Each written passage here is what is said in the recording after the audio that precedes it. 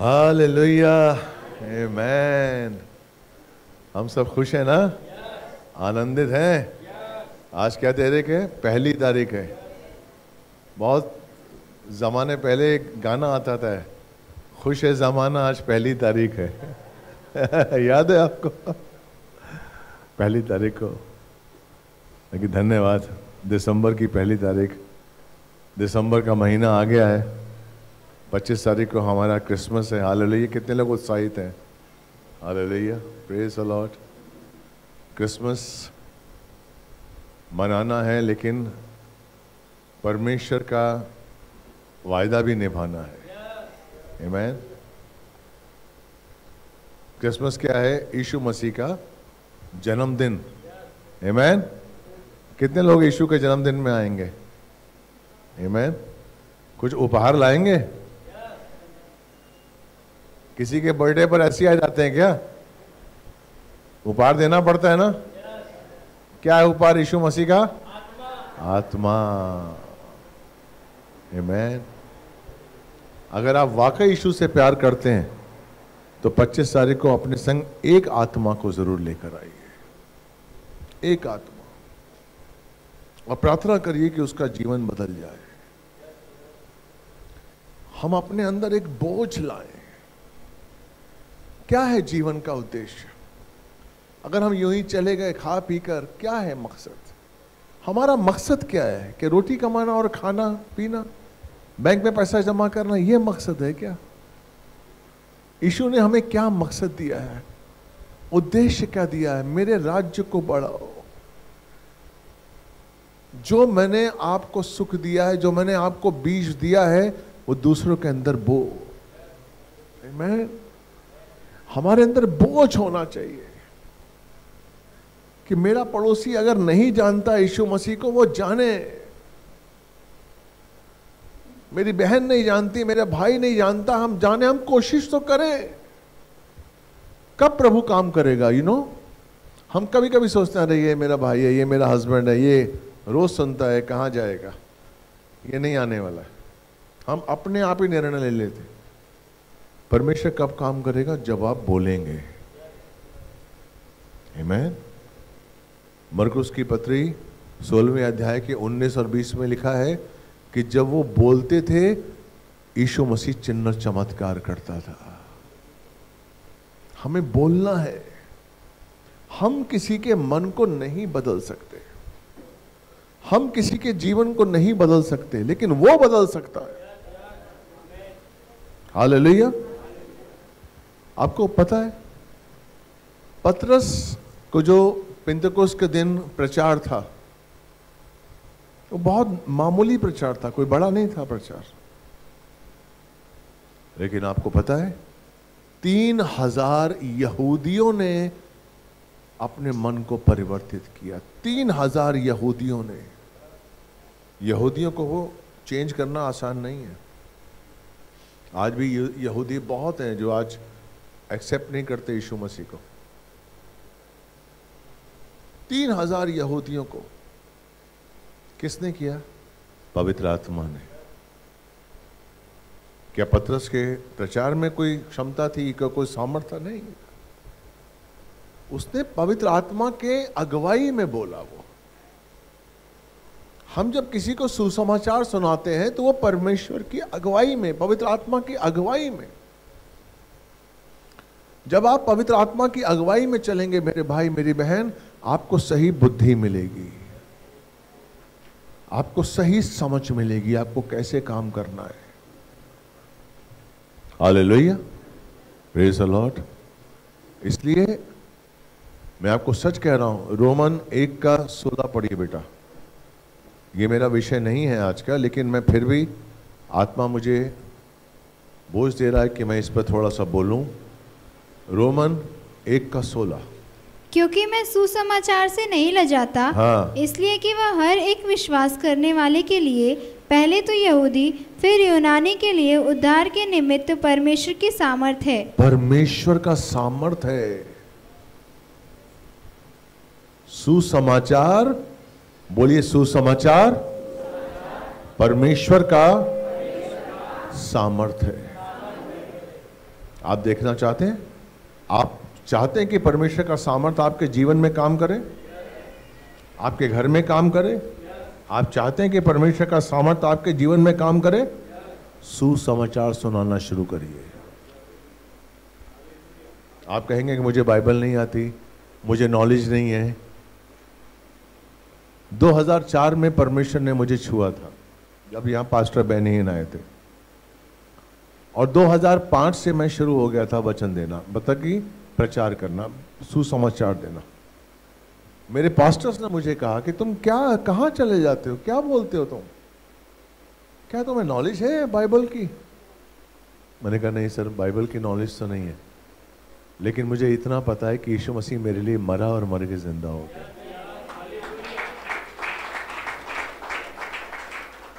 और मैं हर जगह सिर्फ़ यही बताता हूँ। मुझे नहीं आता ज़्यादा ज्ञान नहीं है। लेकिन मुझे इतना पता है कि मेरा यीशु मेरे लिए मरा। मैं क्या आपको इतना ज्ञान नहीं है? प्लीज़ आप करके देखिए। अगर आप चाहते हैं कि परमेश्वर का सामर्थ आपके घर में काम करे उसका सुसमाचार सुनाइए। आपके पास नौ, आपकी नौकरी चली गई है मान लीजिए। धन्यवाद दीजिए। ये नौकरी कोई आपसे नहीं ले सकता। ये काम सबसे बड़ा काम है। सुसमाचार सुनाना सामर्थ है। परमेश्वर का सामर्थ सुसमाचार में है। रोज सुनाइए, किसी ना किसी को सुनाइए, किसी ना किसी बहाने से बात करिए। मेरे घर में कोई कोरियर वाला भी आता है या कोई देने के लिए आता है, मैं उसको सुसमाचार सुनाता ही हूँ। गैस देने के लिए आता है कोई, यीशु मसीह के बारे में बताता हूँ। फ़ोन पे कई बार आपको लोन के आते हैं लोन देने के लिए, कई महिलाओं के फ़ोन आते हैं कि आपको लोन चाहिए, उनको भी सुसमाचार सुनाता हूँ। मेरे, मैं अपने मुख से उसकी महिमा करना चाहता हूँ बस। मेरा उद्देश्य है मेरे जीवन से उसकी महिमा हो। आप देखिए, परमेश्वर का सामर्थ्य आपके जीवन में काम करेगा। असंभव चीज़ें संभव हो जाएँगी आपके जीवन में। आप करके देखिए, मैं आपको सच कह रहा हूँ, अगर आपके काम रुके हुए हैं, सुसमाचार सुनाना शुरू करिए। बोलिए। आपको नहीं आता? मांगिए परमेश्वर देगा। इसके लिए कोई उम्र नहीं है इसके लिए कोई डिग्री वगैरह नहीं है। कोई डिग्री नहीं है। परमेश्वर के नाम में यीशु मसीह के नाम में कोई डिग्री नहीं है। आपको पता है जब यीशु मसीह इस धरती पर थे उस समय यरूशलेम में बहुत बड़ा एक आ, बहुत बड़ी एक यूनिवर्सिटी थी बाइबल की उस समय। और जिसका अध्यापक था गल गमलियल और जहाँ पढ़ता था पॉलुस। हालेलुया। बहुत से तैयार थे लोग, जिनको ज्ञान था, जिनके पास, आपको पता है पॉलुस गमलियल वो जो यूनिवर्सिटी थी, वो कैसे पढ़ाई करते थे? पहली पाँच किताबें उनको कंठस्थ होनी चाहिए। पहली पाँच किताबें। आपको पहली पाँच किताबें भी आपको पता नहीं होंगी, बाइबल में कौन कौन सी हैं। और जिसको पाँच किताबें पता थी, वही उनका चेला था। तो पॉलुस को पाँच किताबें पता थी, पहली पाँच किताबें। लॉर्ड तो यरूशलेम में ये यूनिवर्सिटी थी, बाइबल की यूनिवर्सिटी, लेकिन यीशु मसीह ने वहाँ से चेले नहीं लिए। लिए? नहीं वो जा सकते थे यार, कि अच्छा अच्छा कौन सा स्टूडेंट अच्छा है, किसको नॉलेज है? नहीं लिया उसने मछुआरे लिए। जिनके अंदर इच्छा थी। परमेश्वर को कुछ नहीं चाहिए। आपकी शक्ल नहीं चाहिए, आपका ज्ञान नहीं चाहिए, आपकी आवाज़ नहीं चाहिए। उसने मूसा से कहा कि तू जानता नहीं, मैं ही बनाता हूँ, मैं ही देता हूँ। तू मेरे नाम के साथ चल। मैं तुझे दूँगा। मेरा सामर्थ्य काम करेगा। आपके पास, मान लीजिए आपकी नौकरी छूट गई, धन्यवाद दीजिए, सुसमाचार शुरू कर दीजिए। डरिए मत कि कल का खाना आएगा। अरे, सुसमाचार सुनाइए, ये खाना आपके पीछे पीछे आएगा। मेरा सिर्फ़ यही काम है। मैं 2005 से 2006 से सिर्फ़ यही कर रहा हूँ। और कुछ नहीं जानता हूँ मैं। ईमानदारी से परमेश्वर की सेवा करता हूँ मैं। सुसमाचार, अपने कलीसिया से पैसे नहीं लेता हूँ मैं। कोई मेरी तनख्वाह नहीं है। लेकिन परमेश्वर का सामर्थ मेरे घर में काम करता है, मेरे जीवन में काम करता है। Yes. मुझे मांगने से पहले परमेश्वर देता है। मैंने कभी किसी का फ़ायदा नहीं उठाया ज़िंदगी में। ज़िंदगी में बहुत से अच्छे अच्छे मेरे रिलेशंस हैं। लेकिन कभी किसी का फ़ायदा नहीं उठाया। कभी नहीं। मेरा पिता मेरे साथ मुझे माँगता है, अगर मांगना है, मैं घुटने टेकता हूँ, प्रभु से माँगता हूँ अपने पिता से। और वो देता है। वो देता है। आपको क्यों नहीं देता? क्योंकि आपको मांगना नहीं आता। आपने उसे पिता नहीं बनाया। आपने उसे पिता नहीं बनाया। आप ये विश्वास ही नहीं करते कि आपका पिता सर, पिता इस समय सिंहासन पर है और सर्वशक्तिमान है। आप विश्वास ही नहीं करते कि वो मेरा पिता है। नहीं करते आप विश्वास। अगर आप विश्वास करेंगे कि वो मेरा पिता है ना, आप चिंता करेंगे ही नहीं। आप चिंता कर ही नहीं सकते। अगर आप चिंता कर रहे हैं, इसका मतलब आप विश्वास नहीं करते कि वो आपका पिता है। मैं विश्वास करता हूँ वो मेरा पिता है। वो मेरी हर प्रार्थना को सुनता है। मैं विश्वास करता हूँ।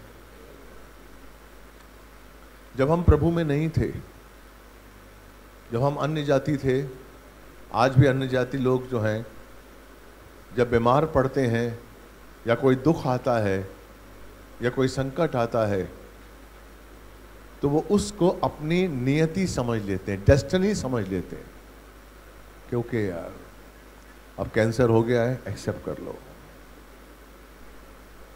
बच्चा बुरी संगति में फंस गया है एक्सेप्ट कर लो। पति गलत निकल गया है, शराब पीता है, मारता पीटता है एक्सेप्ट कर लो ओके अब मेरी लाइफ यूँ ही जाएगी। ये कौन करता है? जो प्रभु में नहीं है। Amen? हम प्रभु में हैं। मैं किसी भी गलत चीज़ को अपने जीवन में एक्सेप्ट नहीं करूँगा। नहीं करूँगा। मेरे लिए परमेश्वर ने अद्भुत आशीषित योजनाएँ बनाई हैं और मेरा अच्छा ही होगा। अच्छा ही होगा। क्योंकि अगर मैं उस अच्छाई को जो परमेश्वर की है, उस भलाई को जो परमेश्वर की है, अगर अपने जीवन में नहीं देख पा रहा हूँ तो इसका मतलब मैंने उस पिता को पहचाना ही नहीं। मैं शुद्ध नहीं हुआ हूँ। इसलिए आप शुद्ध नहीं हुए। इसलिए आप अपने आप को पवित्र कहते तो हैं, लेकिन पवित्रता को मानते नहीं है जो परमेश्वर ने दी है। जो प्रभु ने दी है पवित्रता, वो मेरे अगर अंदर है तो परमेश्वर का सामर्थ्य मेरे अंदर है। Amen? आप जानते हैं आप कौन है? हम परमेश्वर के चुने हुए पुत्र हैं।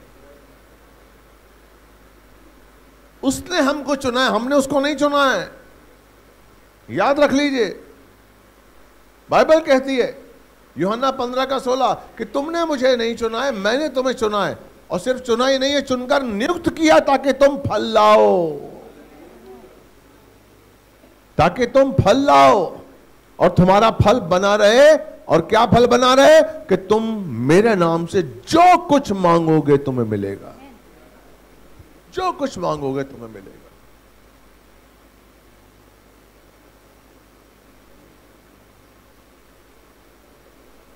यीशु कौन है? यीशु हमारी आशा है। यीशु कौन है? बोले यीशु मेरी आशा है। हमें वरदान में मिली आशा Amen? और अगर हम इस आशा के साथ नहीं जी रहे हैं तो हम गलती कर रहे हैं। मैं बीमार हूँ, लेकिन मेरी आशा है कि मैं चंगा होऊँगा। Amen? मैं कर्जे में हूँ लेकिन मेरी आशा है कि मैं कर्जों से मुक्त होऊँगा। Amen? अपनी आशा को हमें नहीं छोड़ना है। दूसरा कोरिंथियन पाँच का सत्रह। सेकेंड कोरिंथियन फाइव सेवनटीन इसीलिए यदि कोई मसीह में है तो वह नई सृष्टि है। पुरानी बातें बीत गई है देखो, सब बातें नई हो गई है. नई बातें क्या है? पुरानी बातें थी। पुरानी बातों में हम लोग अपनी डेस्टिनी समझते थे, अपने दुख को। अरे, नहीं यार। गरीबी मेरी डेस्टिनी है। अब मैं गरीब रहूँगा, मेरा परिवार, मेरे बच्चे भी गरीब रहेंगे। कैंसर हो गया स्वीकार कर लिया आपने कि मेरी डेस्टिनी है, स्वीकार कर लिया। डायबिटीज़ है। अरे, मेरे बाप को भी थी। मेरे दादा को भी थी। आपने स्वीकार कर लिया कि पीढ़ी दर पीढ़ी चली आ रही है, मुझे भी डायबिटीज़ होगी। मैन ये पुरानी बातें थी। नई बातें क्या हैं? हम परमेश्वर की समानता और स्वरूप में हैं। Amen? उसने हमें अपनी समानता अपने स्वरूप में रचा है। इसलिए कोई भी असंभव चीज़ मुझसे दूर नहीं हो सकती। हर चीज़ जो असंभव है, वो मेरे लिए संभव है। क्योंकि मेरे पास ईशु है। Amen? मेरे पास कौन है? ईशु है। और ईशु है आशा। Amen? वो है परम सर्वशक्तिमान। वो सिंहासन पर है। आकाश और धरती को बनाने वाला वो है। आकाश मंडल को बनाने वाला वो है। Amen? वो धरती पर आया और आदमी और औरत के संबंध से पैदा नहीं हुआ वो वो यीशु मसीह आदमी और औरत के संबंध से पैदा नहीं हुआ वो पवित्र आत्मा के सामर्थ्य से उत्पन्न हुआ the Lord. Amen. हम भी पवित्र आत्मा से उत्पन्न हुए जब हमने यीशु को स्वीकार किया हम पवित्र आत्मा से उत्पन्न हुए। आपके अंदर क्या है? बोलिए, मेरे अंदर पवित्र आत्मा है। मेरे अंदर पवित्र आत्मा है। मैं एक नई सृष्टि में हूँ। पुरानी बातें बीत गई हैं। नई बातें मेरे साथ हैं। ये अंगीकार करिए। मेरे भाई, परमेश्वर का वचन आपके लिए, आपके जीवन में काम करना चाहता है। अंगीकार करिए।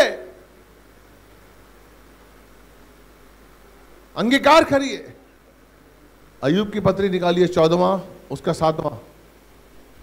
अयुब की पत्री। देखिए, सृष्टि से परमेश्वर हमें बहुत कुछ सिखाता है।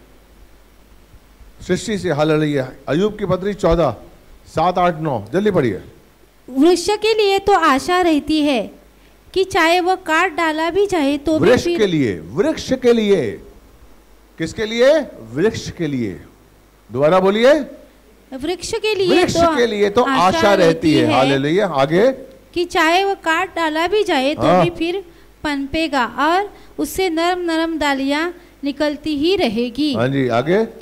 चाहे उसकी जड़ भूमि में पुरानी भी हो जाए हाँ। और उसका ठुंड मिट्टी में सूख भी जाए तो भी वर्षा की गंध पाकर वह फिर पनपेगा वर्षा की गंधक पाकर वो फिर पनपेगा Amen? वृक्ष अगर काट भी डाला जाए, वर्षा की गंध पाकर वो फिर पनपेगा the Lord. उसके पास क्या है आशा मैं आपको सच बताऊँ, मेरे भाई, मेरी बहन, आज का विषय है कि आप चाहे किसी भी परीक्षा में क्यों ना हो, आप चाहे किसी भी बीमारी में क्यों ना हो, आप चाहे किसी भी कष्ट में क्यों ना हो, आप चाहे किसी भी इम्तहान से क्यों ना गुजर रहे हो, मेरे पास, आपके पास आशा है Amen. कभी आपको वो नहीं छोड़ेगा कभी भी आज आपका बच्चा आपके साथ नहीं है, कल आएगा। हे मैन उसके लिए कुछ भी असंभव नहीं है। वो समय देता है। वो समय पे काम करता है। आप क्या समझते हैं कि आपके बच्चे के जीवन में काम नहीं कर रहा है वो? काम कर रहा है। आपको नहीं पता। आपको नहीं पता कि वो क्या काम कर रहा है। वो काम कर रहा है। The लेकिन अगर आपके अंदर आशा है तो आपके अंदर आनंद रहेगा। Amen. अगर मेरे अंदर आशा है कि मेरा प्रभु काम कर रहा है मेरे जीवन में, मेरे बच्चों के जीवन में तो मेरे अंदर आनंद रहेगा। हालेलुया लेकिन अगर मेरे अंदर आशा नहीं है तो मेरा आनंद व्याकुलता में बदल जाएगा। शोक में बदल जाएगा और आप रोएँगे। हाय, इस बीमारी का मैं क्या करूँ? इन कर्जों का मैं क्या करूँ? Lord. आप हाय करेंगे, क्योंकि आपके पास आशा नहीं है। एक वृक्ष जिसको काट डाला गया है, उसके पास क्या है? जड़। उसके पास क्या है? तना है। और उसके पास आशा है। उसके पास आशा है, वर्षा होगी और मैं फलूँगा। मैं अपनी आशा को अपने साथ अपने से अलग मत होने दीजिए। यीशु आपकी आशा है। हालेलुया यीशु को अपनी आशा बना के रखिए। शैतान आपकी आशा को तोड़ने की कोशिश करेगा। एक समय ऐसा आता है जब आप कहते हैं कि अरे भाई दो महीने हो गए तीन महीने हो गए साल हो गया। और मैं परीक्षा से गुजर गुजर रहा हूँ। क्यों नहीं चंगा हो रहा हूँ? क्यों नहीं आशीष मिल रही है? परमेश्वर के कार्य अद्भुत हैं। मैं आपका सच कहता हूँ, आपका विश्वास आपको आशीष दिलवाएगा। आपका विश्वास आपको आशीष दिलवाएगा। आपका विश्वास आपको वो जीवन देगा जिसमें आशा है। Hello praise the Lord hallelujah praise the Lord Ruth के पास क्या था? पता है आपको? रूथ जो मुआब देश में थी न्योमी मुआब देश में आई, बैतलम से, उसके दोनों बच्चों ने शादी की। रूथ का पति था, वो मर गया। उसका ससुर मर गया। वो दस साल तक शादीशुदा थी, उसके बाँच नहीं थी। उसके पास कुछ नहीं थी और एक समय आया जब उसकी सास ने कहा कि दुजा मैं तुझे आज़ाद करती हूँ। हालेलुया। क्या कहा? मैं तुझे आज़ाद करती हूँ। तू जा बेटा, मेरा कोई बच्चा नहीं है। मैं तुझे आज़ाद करता हूँ। रूथ के पास कुछ नहीं था। उसका पति मर चुका था, उसका ससुर मर चुका था। वो बांझ थी, उसके पुत्र नहीं था, उसकी पुत्री नहीं थी, उसकी कोख कोख उसकी बंद थी। प्रेज द लॉर्ड लेकिन फिर भी न्योमी के पास रहकर उसने एक चीज़ पाई और वो क्या था? आशा। Amen. जब न्योमी ने कहा रूस जा तू आज़ाद है। अब मेरा तेरा कोई रिश्ता नहीं है। प्रेज द लॉर्ड पता है रूथ ने क्या कहा? रूथ एक का सोलह पढ़िए। रूत बोली तू मुझसे यह विनती ना कर हाँ। कि मुझे त्याग या छोड़ लौट जा। क्योंकि जिधर तू जाए उधर मैं भी जाऊँगी। जहाँ तू टिके वहाँ मैं भी टिकूँगी। तेरे लोग मेरे लोग होंगे और तेरा परमेश्वर मेरा मेरा परमेश्वर होगा। हेमान मेरा चाहे सब कुछ खो गया हो लेकिन मेरा पिता मेरे साथ है। मेरा परमेश्वर मेरे साथ है। चाहे दुनिया का कोई भी शख्स मुझे छोड़ दे मेरे माँ बाप मुझे छोड़ दे लेकिन मेरा पिता मेरे साथ है। Amen. उस आशा को थाम के रखिए मेरे भाई, मेरी बहन, और उस आशा का नाम है यीशु मसीह। आप चाहे कितनी भी मुसीबत में क्यों ना हो, आप चाहे कितनी प्रॉब्लम्स में क्यों ना हो, मैं नहीं जानता हूँ, लेकिन मैं जानता हूँ कि मेरा यीशु एक आशा है। और वो आपके साथ है। उसको अपने साथ रखिए। कैसे साथ रखेंगे, पता आपको? दुख में धन्यवाद देना सीखिए। दुख में धन्यवाद देना सीखिए। आज आपके पास आधी रोटी है कहिए पिता धन्यवाद, तूने जो आधी रोटी दी है, मैं अपने बच्चों के संग खाऊँगा। धन्यवाद। प्रेज लॉर्ड हालेलुया उसको धन्यवाद देना सीखिए। प्रेज लॉर्ड मेरा हा- मेरा एक हाथ टूट चुका है। प्रेज लॉर्ड लेकिन मैं धन्यवाद दे रहा हूँ कि परमेश्वर दूसरा हाथ अभी अभी है। मैं इसे काम कर सकता हूँ। मैं सच कह रहा हूँ, धन्यवाद में वो सामर्थ्य है। जब आप धन्यवाद देंगे ना मेरे भाई, मेरी बहन, परमेश्वर स्वर्ग से उठेगा और आपको गले लगाएगा।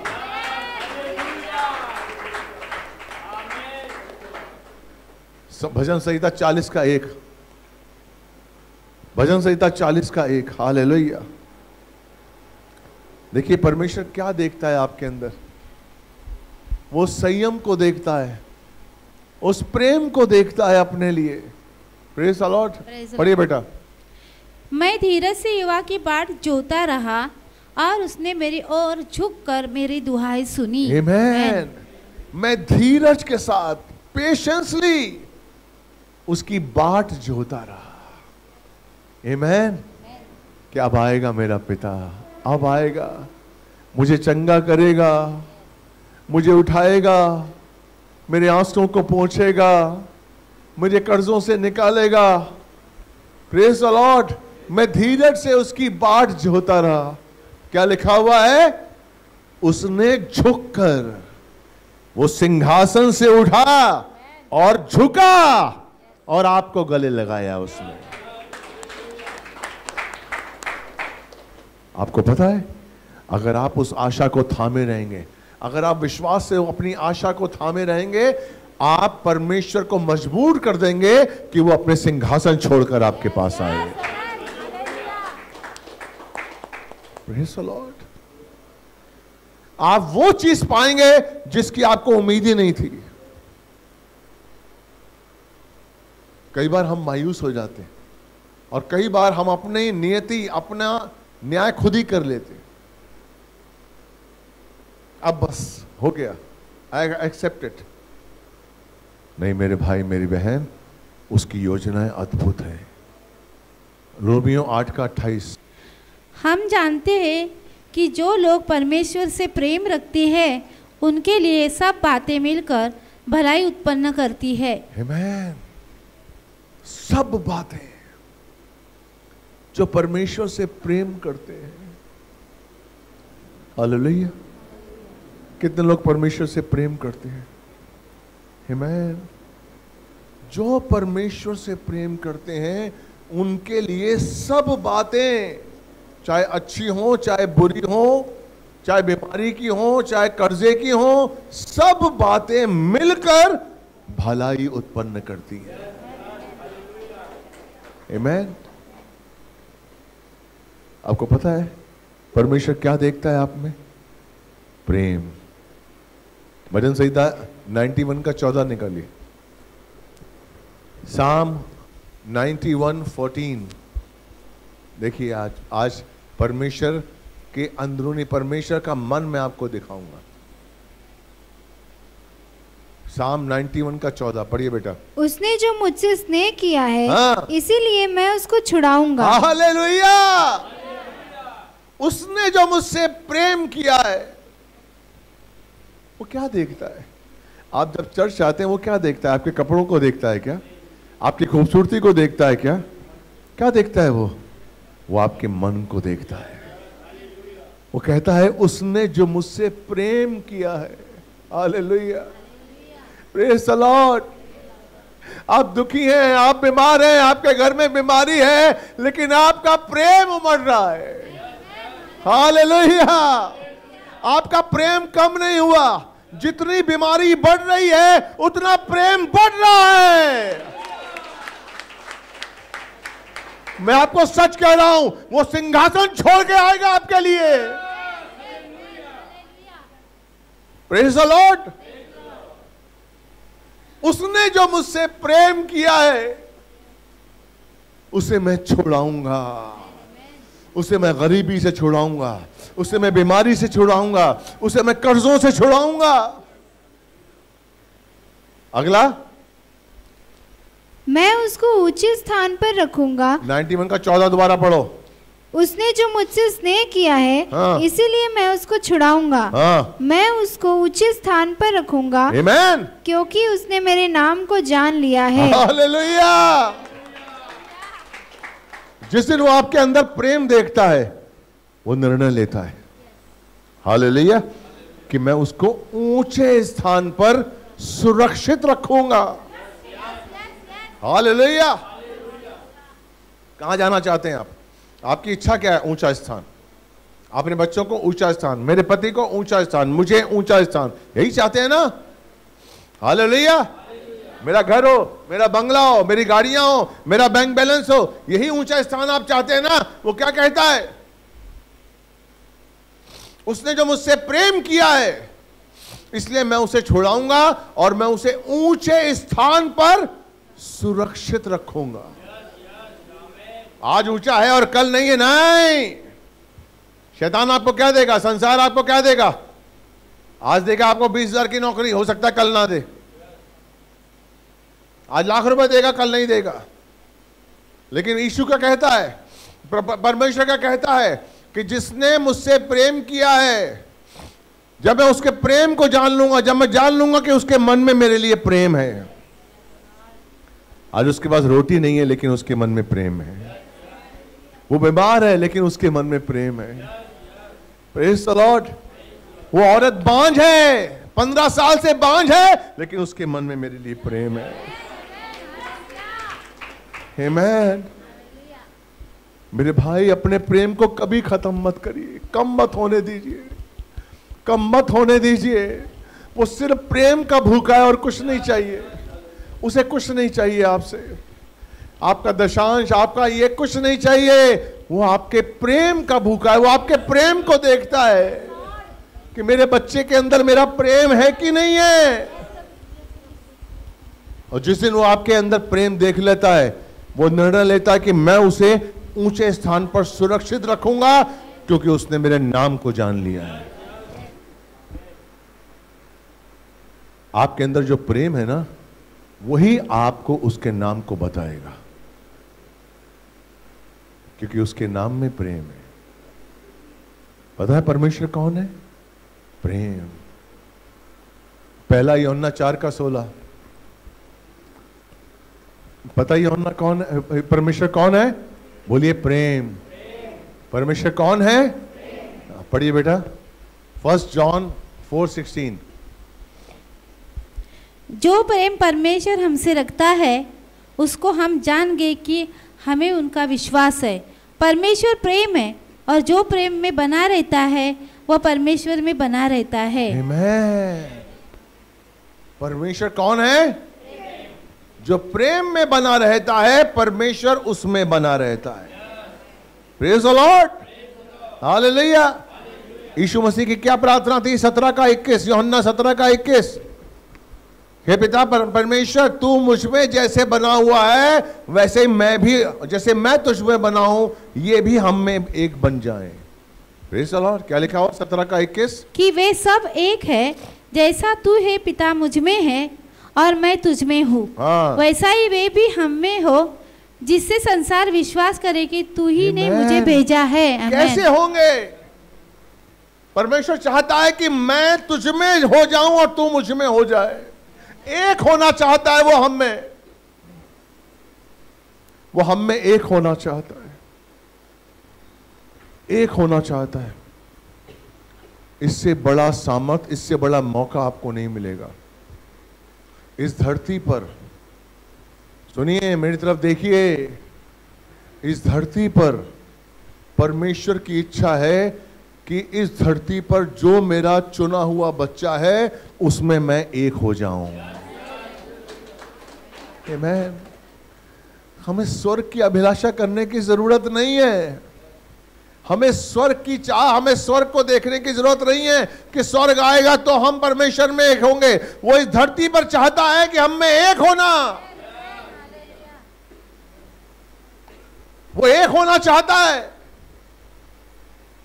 यीशु की यही प्रार्थना है, जिस तरह पिता, तू मुझमें है, वैसे ही मेरे बच्चे भी तुझ में एक हो जाए। हालेलुया। इसलिए वो कहता है, उसने मेरे नाम को जान लिया है। जब तक हम उसमें एक नहीं हो सकते, जब तक हमारे अंदर प्रेम नहीं है। इसलिए अपने अंदर प्रेम रखिए। किसी के लिए कोई घृणा आने मत दीजिए। कोई द्वेष की भावना अपने अंदर मत आने दीजिए। क्योंकि जहाँ आपके अंदर द्वेष आया, जहाँ आपके अंदर नफरत आई, जहाँ आपके अंदर घृणा आई, जहाँ पर आपके अंदर आई, परमेश्वर आपसे अलग हो जाएगा। क्योंकि परमेश्वर कौन है? प्रेम। अगर आपके अंदर प्रेम नहीं है, वचन क्या कहता है? अगर आपके अंदर प्रेम नहीं है तो परमेश्वर आपके अंदर नहीं है। हेलो? आप समझ रहे हैं? प्रेम सिर्फ़ अपने पति से नहीं, अपनी सास से नहीं। बाइबल कहती है, दुश्मनों से प्रेम करो। जो तुम्हें सताते हैं, उनके लिए प्रार्थना करो। क्या प्रार्थना करेंगे कि मुझे सताना छोड़ दे? ये प्रार्थना करेंगे, जो आपको सताते हैं, प्रभु क्या चाहता है कि आप प्रार्थना करें? क्या आप ये चाहते हैं, क्या परमेश्वर ये चाहता है कि आप ये प्रार्थना करें कि परमेश्वर वो मुझे सताना छोड़ दे? ये नहीं। परमेश्वर क्या चाहते हैं? जो आपको सताते हैं, उनके लिए प्रार्थना करिए, परमेश्वर उनका भला हो। उनका भला हो। तेरी उपस्थिति उनके अंदर आए। तेरी भलाई को वो जाने, तेरे प्रेम को वो जाने। प्रेज इसलिए बाइबल कहती है, दुश्मनों को माफ़ करो। कोई तुम्हारे एक गाल पे थप्पड़ मारे, दूसरा गाल आगे कर दो, लेकिन अपने अंदर नफरत मत आने दो। जिस दिन आपके अंदर नफरत आई, परमेश्वर निकल जाएगा। परमेश्वर चला जाएगा। क्योंकि वो प्रेम है। जहाँ प्रेम नहीं है, वहाँ परमेश्वर नहीं है। आपको परमेश्वर चाहिए या अपना घमंड? Amen? क्या चाहिए आपको? हेमैन हम परमेश्वर के लिए कुछ भी छोड़ सकते।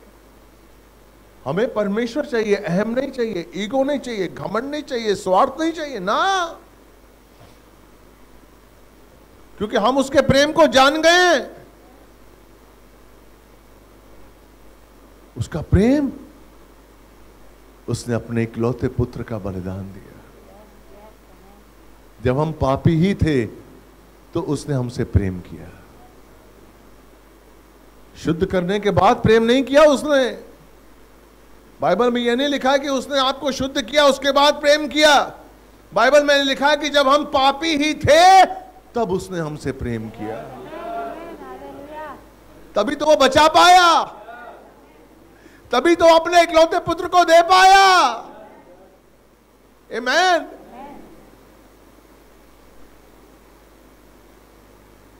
Hallelujah. उस ईशु को समझिए। उस ईशु को समझिए जो आशा है। अपने अंदर कभी भी आशा को जाने मत दीजिए।